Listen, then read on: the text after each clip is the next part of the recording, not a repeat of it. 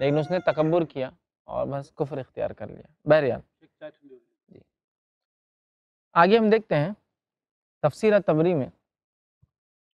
सूर्य अम्बिया सुर नंबर इक्कीस आत्मा सैंतीस ट्वेंटी वन थर्टी सेवन की तफसीर में इमाम तबरी लिखते हैं कि अल्लाह ताला ने आदम को अपने हाथ से बनाया था और जिस तरह की सूरत में चाह पैदा किया और जुमा के दिन जो आदम अलैहिस्सलाम को पैदा किया देखिए, ये तो अल्लाह ताला ही जानता है कि उसने मखलूक़ात को ऐसा मुख्तलिफ़ क्यों बनाया। खुद दुनिया में देखिए, इंसान इंसान में कितना फ़र्क है, आपस में दो जुड़वा भाई भी हो तो बहुत सारी चीज़ें मुख्तलिफ़ होती पसंद, चॉइस, है ना? बहुत सारी चीज़ें होती परिंदों में देखिए अकसाम, जानवरों में देखिए